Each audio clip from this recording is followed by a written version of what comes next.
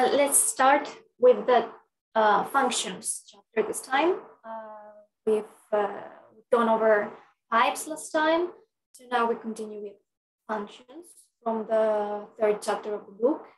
Um, this chapter is quite big, and I don't think we'll manage to finish it off in one day. So most likely I'll continue next Friday, but we'll see.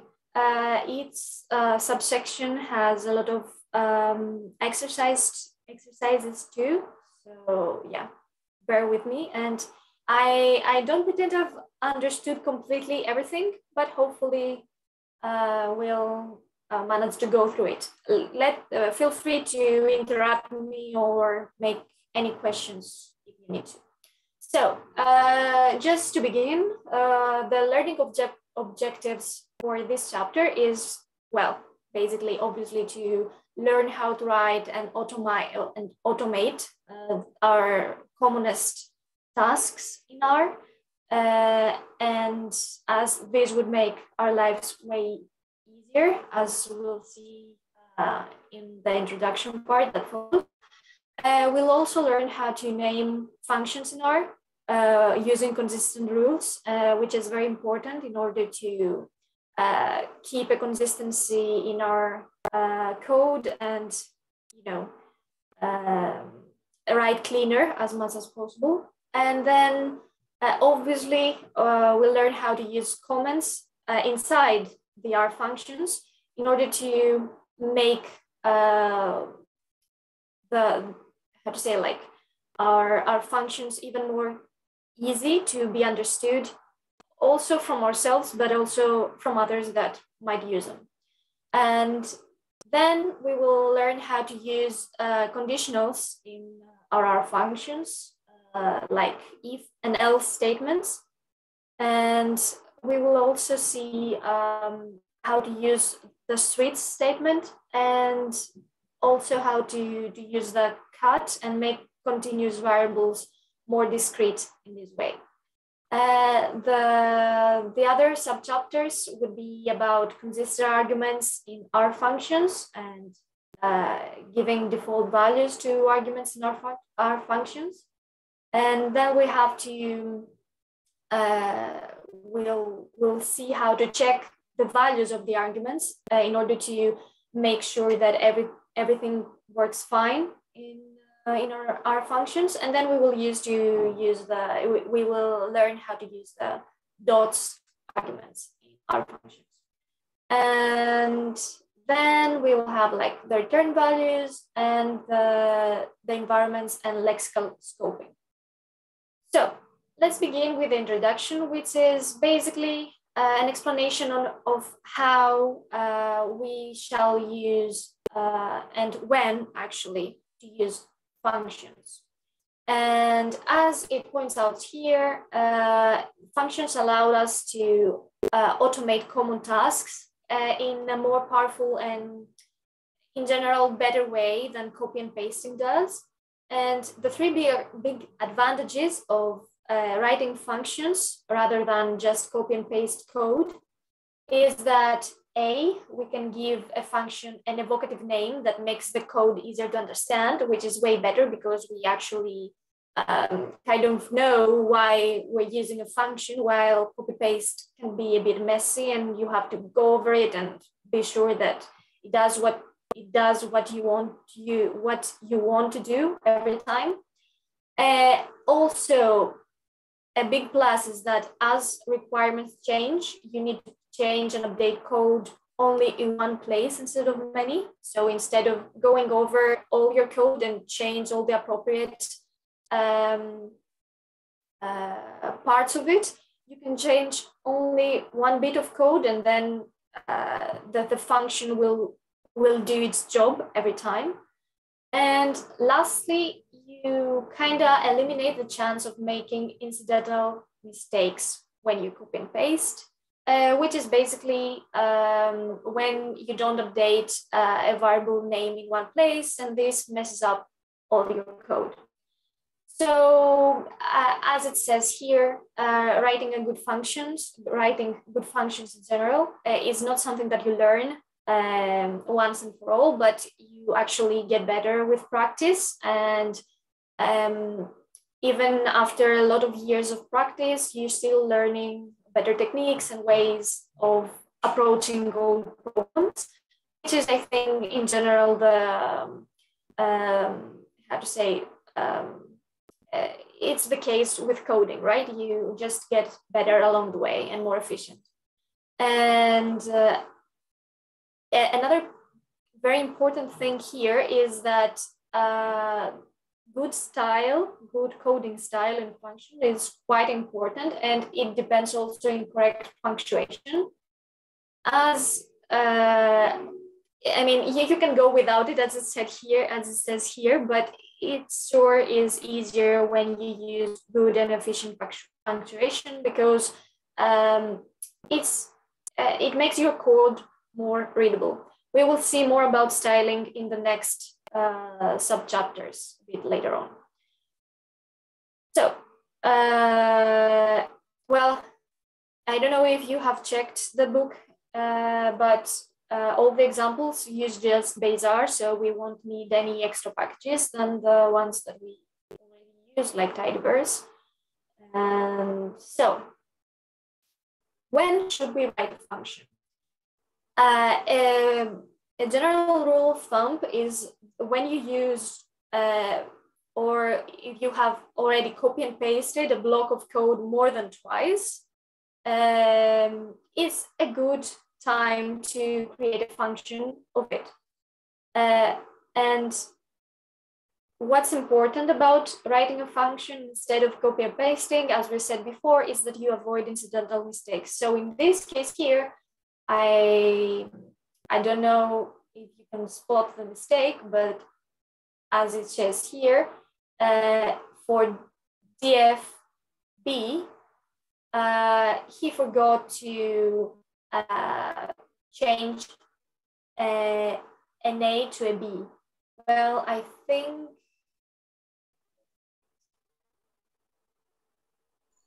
I think the A is in the minimal. Yes, here, it's here, right? Yeah. So here he forgot in this case, so he has already changed it uh, in the beginning, but later on, because it appears twice in this code chunk, uh, he forgot to change it. And in this case, the code becomes, you know, a bit messier to, to troubleshoot as well. So uh, extracting repeated code out into a function is a good idea because it prevents you from making this type of copying and paste mistake. So how, uh, how many inputs does this code have? Because we have to uh, decide how we can turn this into uh, a function. And in order to decide and um, be and make it and you know put it in no write a function out of it anyhow uh, we have to decide how many inputs we have so in this case here the only input is that one here so uh, it's a good idea to rewrite as it says the code using uh, temporary variables uh, and uh, we can give those temporary variables general name, general names. So um, let's call this numeric vector he, uh, x, sorry, uh, blah, blah, blah. Yes, this is like the, the example that it had before. And here we have x and we actually, after we have like this, we create this table and then uh, we name X df uh, A. So in this case, we can uh, replace df A with X in all these incidents that it occurs. So X minus mean X again, uh, then we have to remove all the NA uh, values because we have like NA remove true.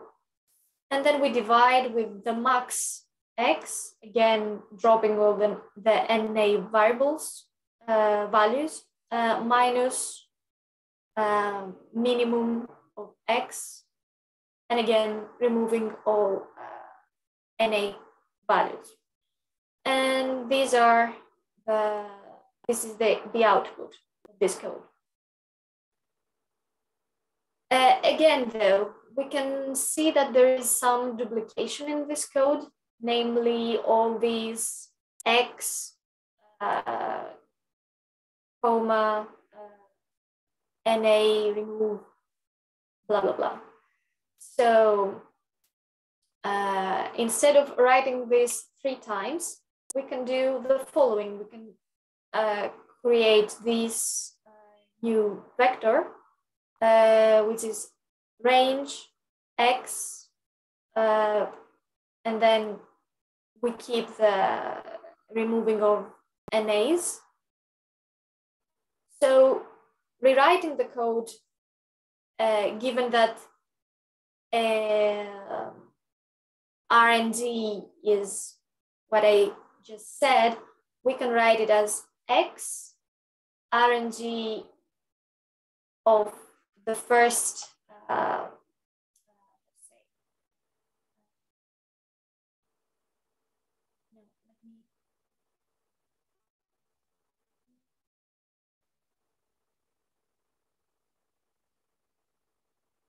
so this is correct. This is actually from the book.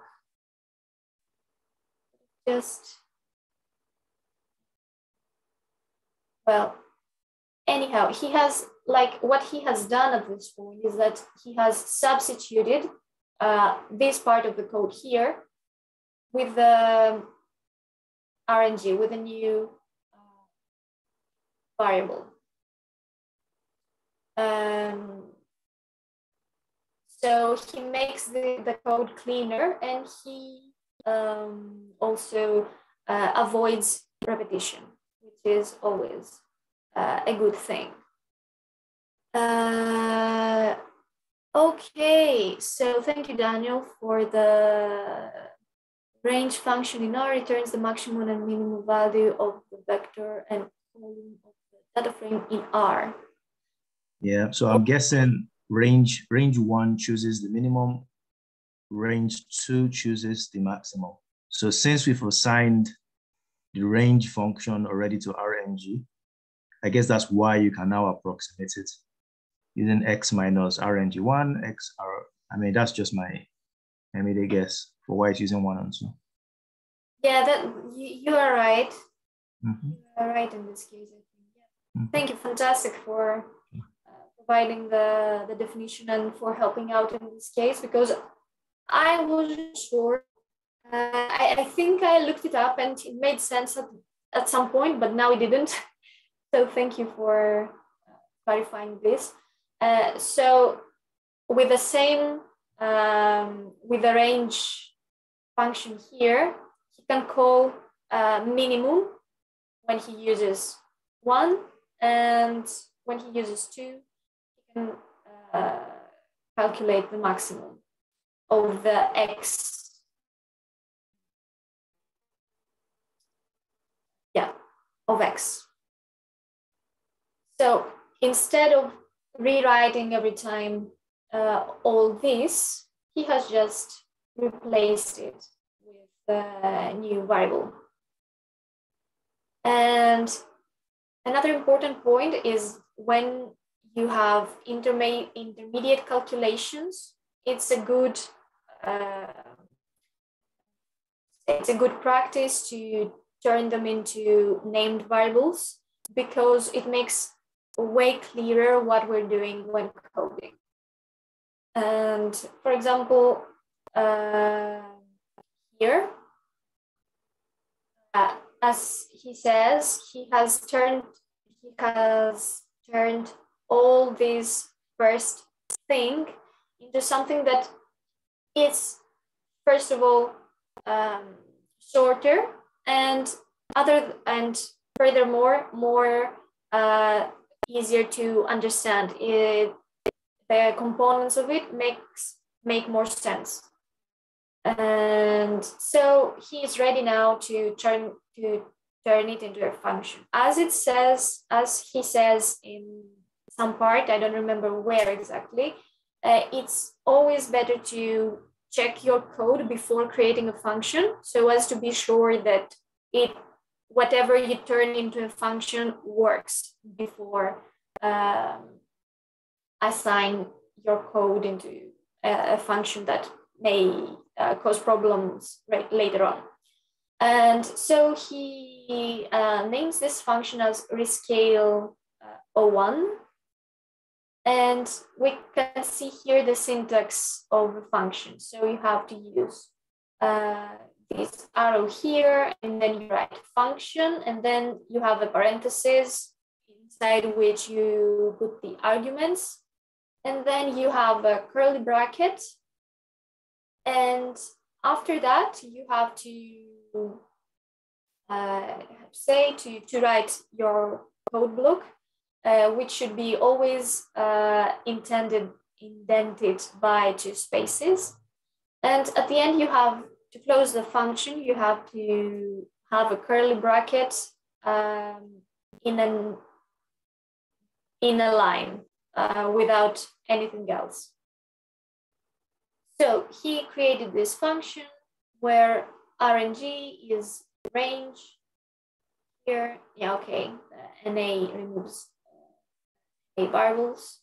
And he uses this code here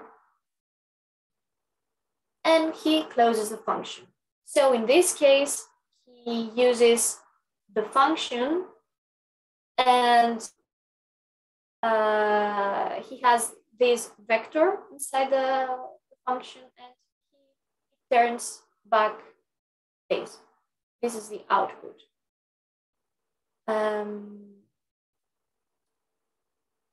so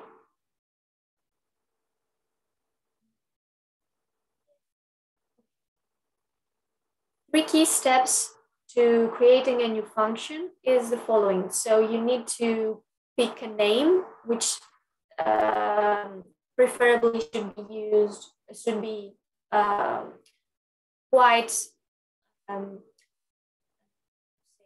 um, characteristic of what the, the function is doing. Uh, here, for example, he used the rescale one because the function actually rescale a vector to lie between zero and one.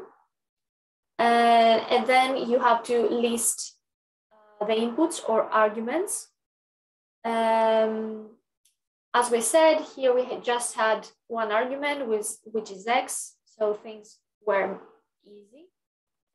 Uh, but in case we had more, we have to call them um, like this. So it would be x, comma, z, uh, no, z, uh, y, comma, z. And the third point is you uh, should place the code uh, in the body of a function into curly brackets. So this is basically the, um, the three most important things that we should always keep in mind when writing function. Um, and as I said before, that uh, it's easier to start with working writing code before turning it into a function, as uh, it's better to um, to be sure that it works. Um, because if we have a function that is problematic, and then it would be harder to work on it later.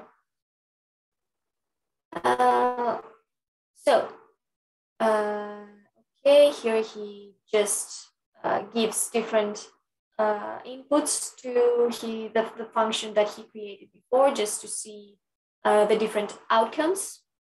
Uh, it's nothing too, too interesting. And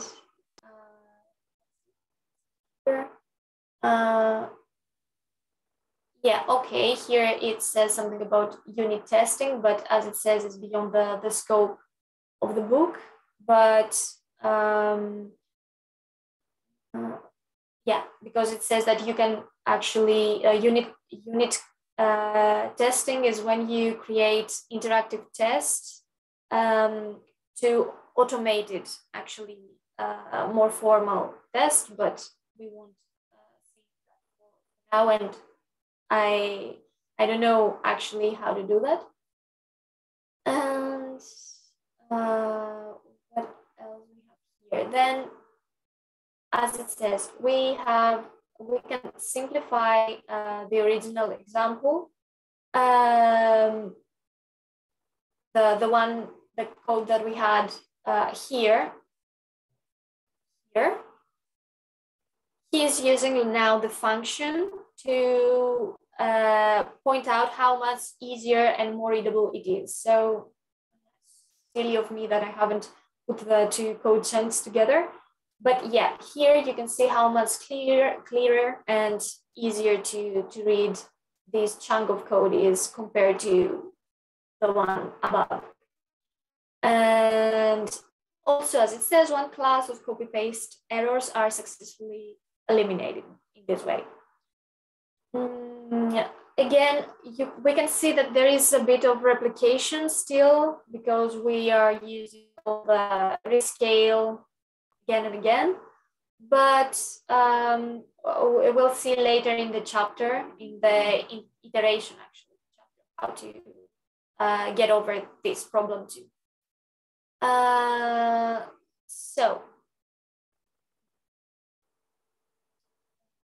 then it says that another advantage of function is that if our requirements change, we only need to make the change in one place, as we said before. And um, it says here that, for example, in this um, function that we have created already here, uh, in case we have, uh, in case actually the functions the function fails at some point, um, we can fix only one place in the function and it would still work. So uh, here we have uh, infinite here. So we have like a vector from one to 10 and it's infinite. So here uh, it can be completed. We have like the NA, uh, but here what it actually changes is that that he adds in the previous um, uh, code block that he had created for rescale one, he adds the finite uh, equals true. And now uh, it works. It works even with this variable here.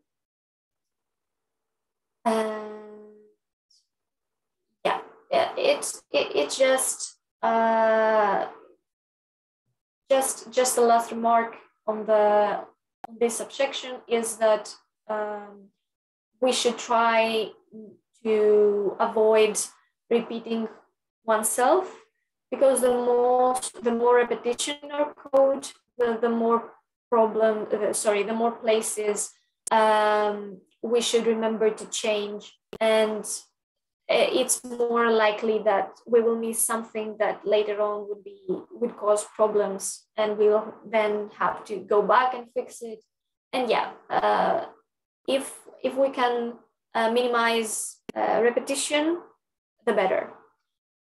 Now to the exercises. Uh, in, in the first uh, demonstration of the how we could like create a function from a chunk of code and all that, uh, we said that uh, the only um, yeah the only input, the only argument of this function here is the x, uh, while uh, for example true is not an input, it's not an argument. So why is true not a parameter, an argument to rescale uh, one? And what would happen if x contained a single missing value? And if remove RNA, uh, remove non-available uh, values, uh, was false. So this is the, the, the function that we had initially. And then uh, if x contains a single missing value and remove NA is, is false, then this function still returns a non-missing value. So uh, we have rescale alternative here, function x point NA remove uh, equals false. So instead of true, here true, we have false. Uh, and then everything else remains as it is. But we see that in this case, because we have false here, we get an A uh, as, a, as a result. We have a, a vector that contains an NA. So we, we get an NA also in the output. Um, yeah, here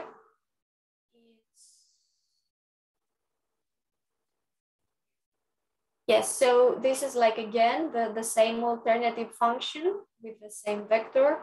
And we have actually added the NA remove equals true, but because uh, the function itself has NA remove false, we still get NAs here.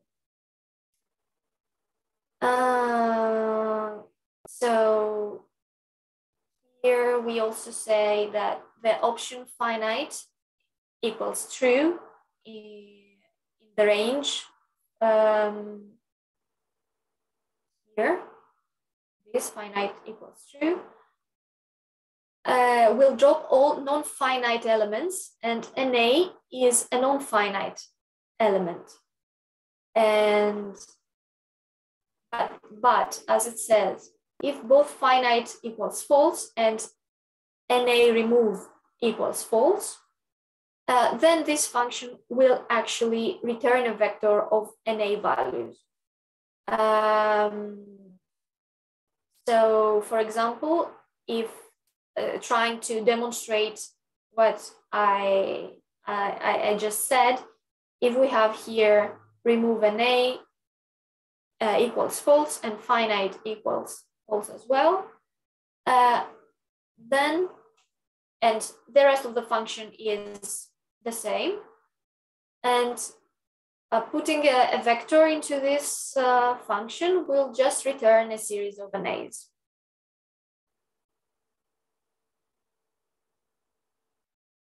So, any, I don't know.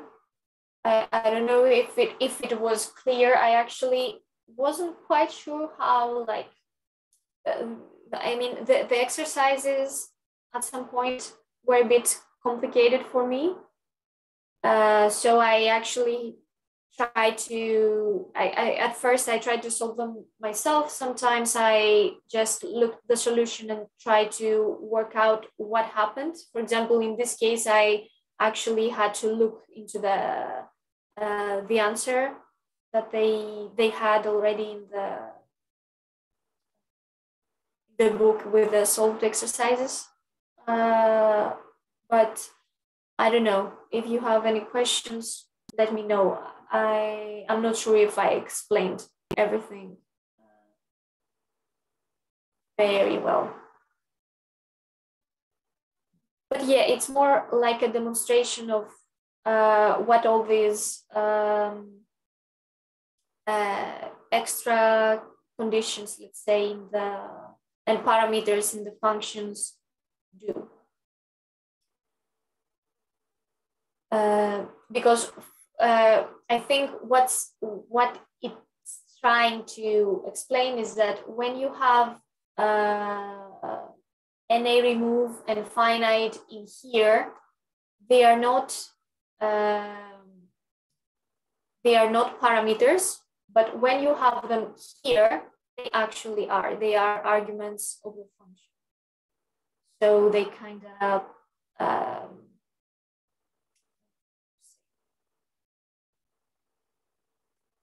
yeah, they, they act in a different way, let's say. So, um, uh, here in the second variant of uh, rescale one, uh, the infinite values are left unchanged. So we have to rewrite rescale one so that minus infinite is mapped to zero and infinite is mapped to one. Um, so in this case, what we should do uh, is the following. We take function x, we keep the, the next part as it already is with the range function here for min and max. And then we add uh, a variable uh, y, which actually is uh, x minus range one, which is uh, minimum, and uh, range two, which is maximum. It's actually the same thing as it was before.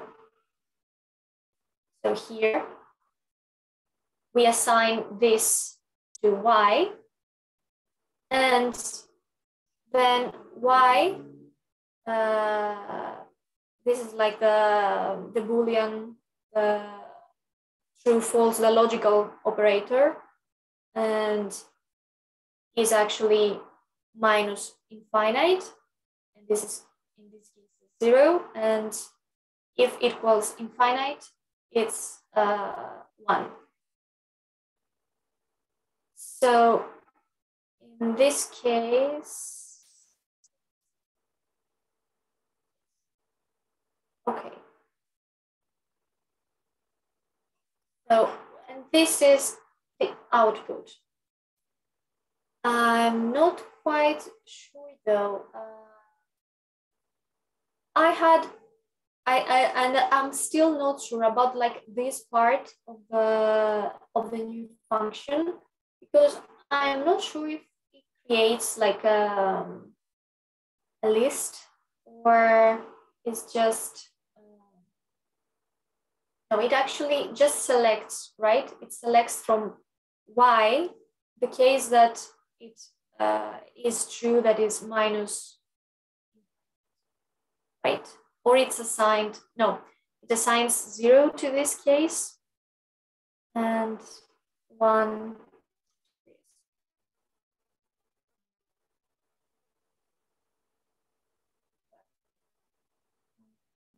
quite sure about that.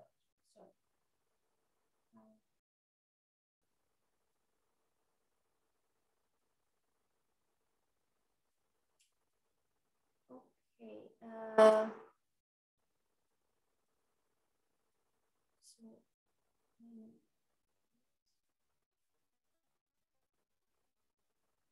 just okay. So here, what it does afterwards is that it it uses a function with the vector infinite then zero uh, from it has also values from zero to five and then also an NA uh, value. And what the function returns is the following. So, um, then we had, I don't know, I feel that the first two exercises were, I don't know, quite weird for me. The third one was more um, easy, I think, because we had each time one part of code and we had to just understand what it's doing and create a function out of it. And uh, probably rewriting it in a way that is more expressive and less duplicative. So in this case, we are given this code here, mean is NAX, which actually just if we think about it, it calculates the number of NAs in vector and uh, we can name it prop NA or calculate an A. And each function, the only argument is x, here. And then we just insert it here. Um, and then we don't forget of to close the, the curly bracket and using it with some data which uh, would return uh, the proportion of uh, NAs, NA values that are in, in a vector. Then we had the x divided by sum x, uh, removing uh, values. And actually what this code does is it standardizes a vector so that it sums to one.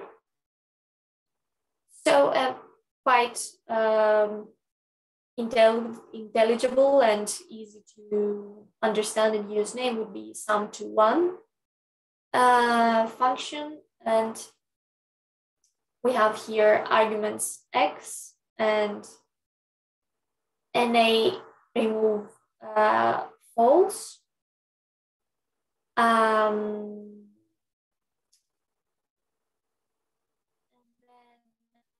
we have uh, x divided by sum and as it it just uh, how to say we just insert the uh, the code as it is to our code uh, block here. And the last one the last uh, code that we have to try and turn into a function is this one here that we have the standard deviation uh, x and removing NAs. And then we have to divide it with the mean of x, again, uh, removing NA, NAs. And this calculates the coefficient of uh, variation. And yeah, we should assume, of course, that x uh, only values that are non-negative and um, this is actually the, the standard the standard deviation of the divided mean. So in this case, we can create a, a, coefficient varia, coef variation as coef is quite a, an, an easy uh, way to code coefficient and variation uh, because um, it's a more describe, descriptive way to explain what the function does. And again, we can use x as an argument and uh, na remove, uh, wait, here should be true, right?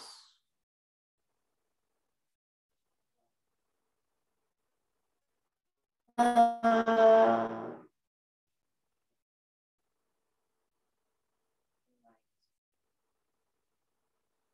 Yeah, I'm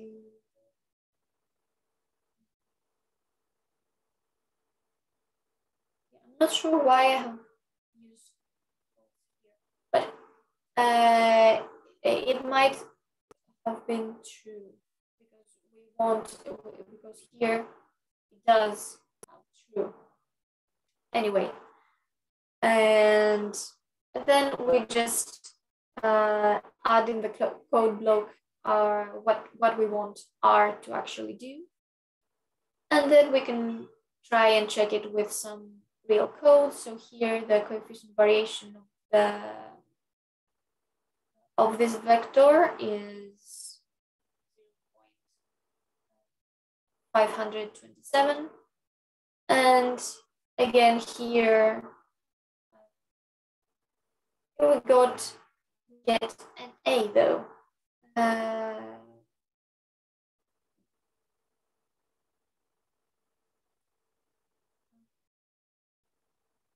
okay, yes, because we have, because I had this one here, so it doesn't remove uh, NAs. So here we have an NA, but if we insert NA remove equals true here, it would remove this one and it would deal only with this one. So we will get the, the coefficient we get here.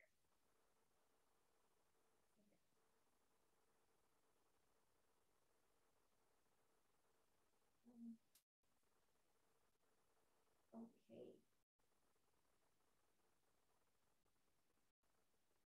Uh, everything okay with this this one? Yeah, I think it's fine. I think it's fine. I think it's fine. So, great.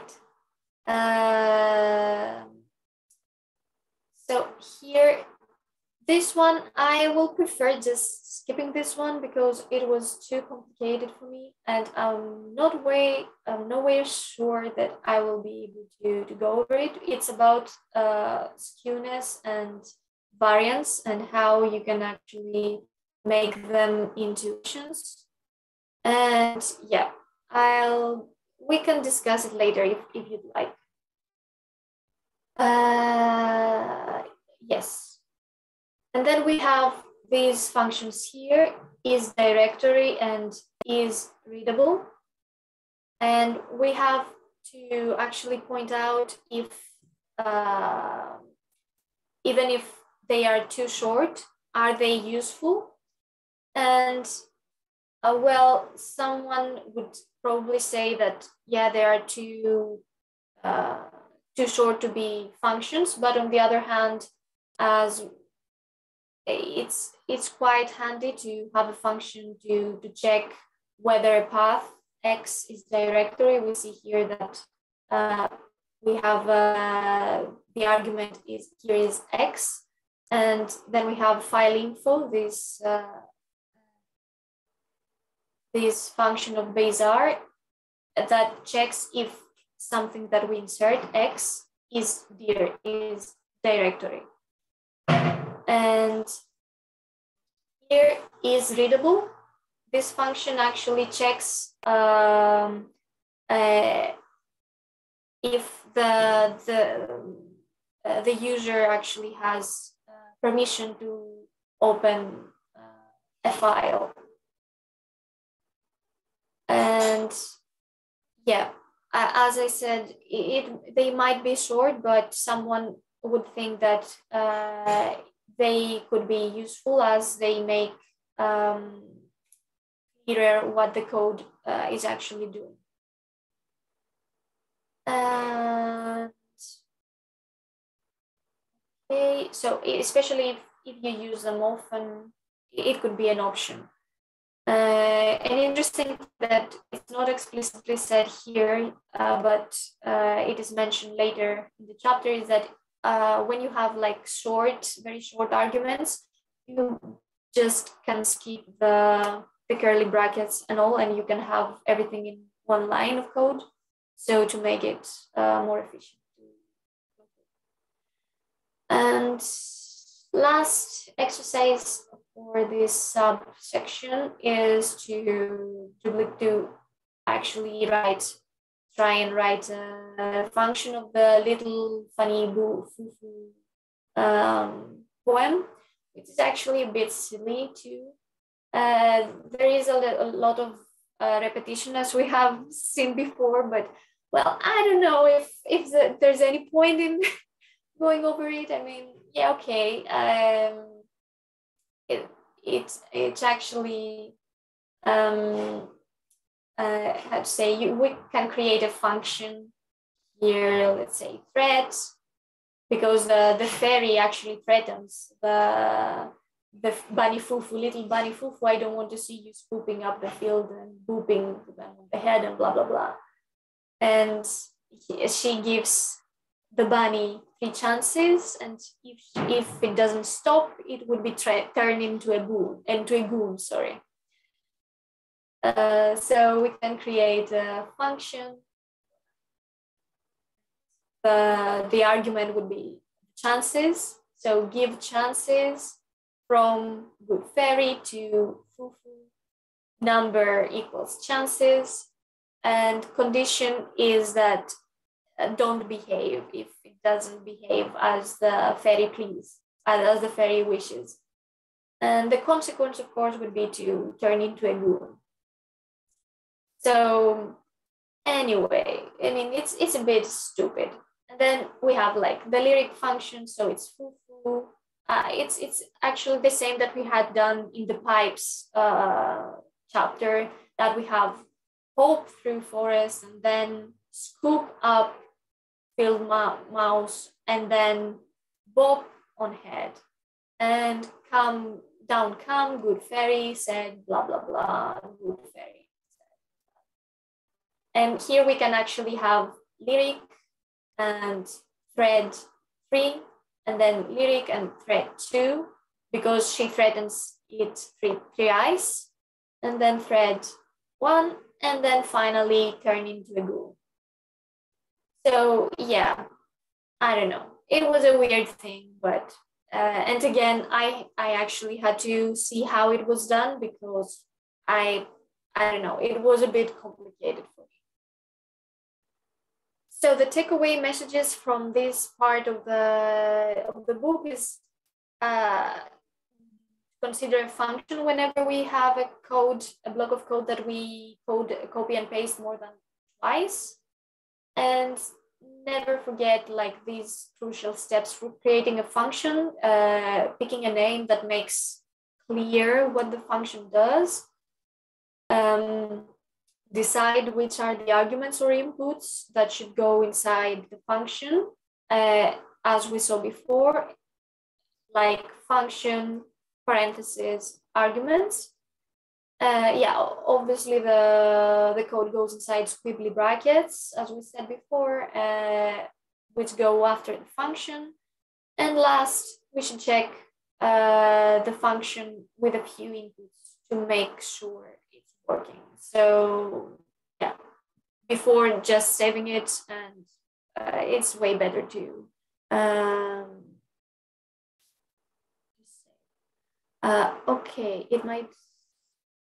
Yeah, probably uh, because I see that we're running out of time. And Odemi, yeah, thank you for being here with us. With us, I don't know if he has already left.